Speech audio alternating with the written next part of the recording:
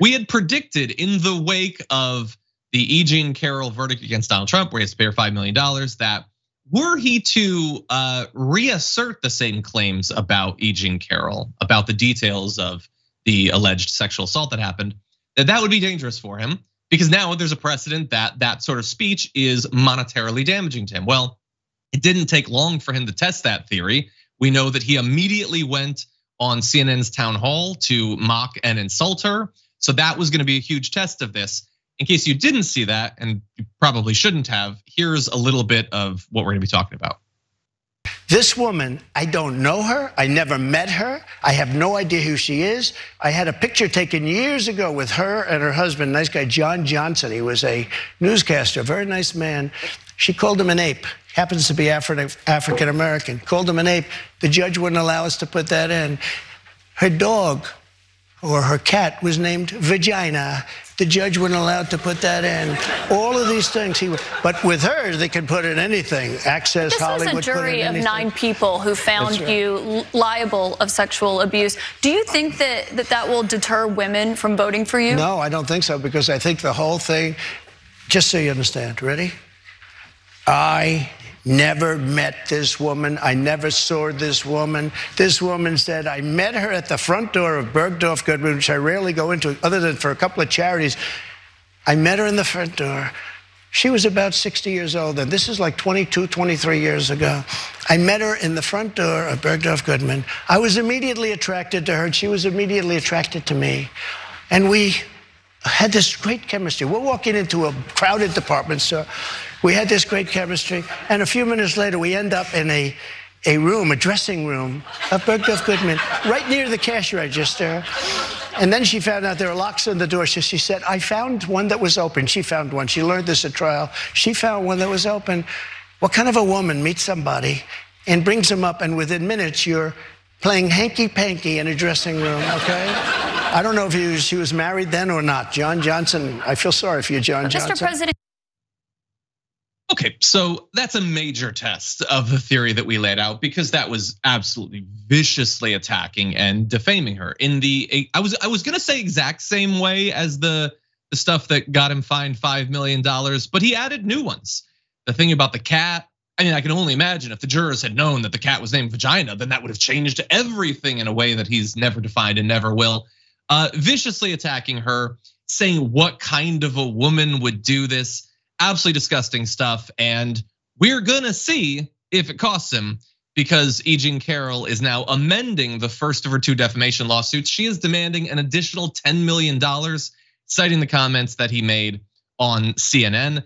Uh, they say um, that uh, Trump's defamatory statements post verdict show the depth of his malice towards Carroll, since it is hard to imagine defamatory conduct that could possibly be more motivated by hatred, ill will, or spite. This conduct supports a very substantial punitive damages award. And um, I, I, hope that they are awake and caffeinated because they're gonna have to amend it again.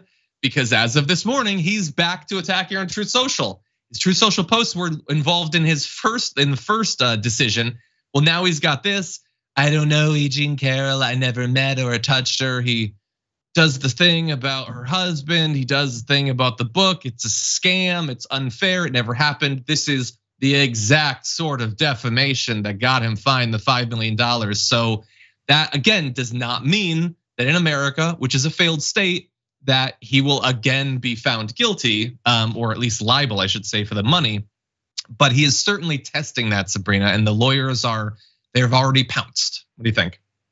I'm very confused because he keeps saying that he doesn't know her, he never met her, and yet in that video that you just played, he just went and described it in detail, saying there was immediate chemistry, and he was recounting it as if it was from his memory. I don't understand why he would go back and forth on that anyway. It just shows how not credible he is. Um, good for uh, E. Jean Carroll for um, amending it to get an extra 10 million as she should. Um, it's the least she can get because um, also it's not even just a matter of um, whether she's going to win this or not. Um, I mean, she's I know she's kind of like happier right now um, because it is going well for her, but it's not real justice. It still happened. And because Trump does still have a lot of online influence, I'm sure that she and like her family members and supporters um, are getting like harassed online as a result. Definitely. So it's not like a real form of justice, but it's it's something. Um, so I look forward uh, to her amendment. Good for her. Get your money. Yeah, yeah, hundred percent. I mean, it's designed to. I mean, we, the way that these sorts of decisions are used in the modern era is like it's an approximation for justice when we can't mm-hmm. get justice, but it's designed to change the behavior going forward. The idea is supposed to be that he'll stop doing it. Uh, that was an interesting theory. It didn't work. The $5 million is not enough to change his behavior. And so it only makes sense if the idea is to change his behavior, that obviously you gotta jack up the amount of money. I would say doubling it doesn't seem like enough. I don't see why that would change his behavior. I would say it should be multiplied by at least a factor of 10. And if that doesn't work, then do it again. Like he is repeatedly doing the exact same thing. He is not only spitting in the face of E. Jean Carroll, he's spitting in the face of the judicial system, of that judge, of that court, of that jury, every time, repeatedly, day after day. The question is going to be on the judge, on them. Like, what are they going to do about it? As of right now, Trump has not responded to requests for comment on this. Um, so finally, I guess he's had enough to say about this for a little bit. Um, oh. Final point goes to you.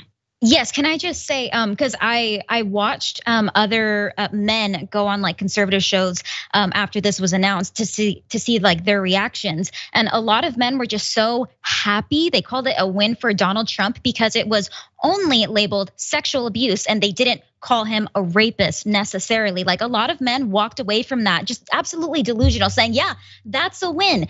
What is that teaching men? That's teaching men that, hey, he got away with it. I can get away with it too. I won't be called a rapist. So just more negative influence is coming from this. It's, yeah, it, it's only so much justice.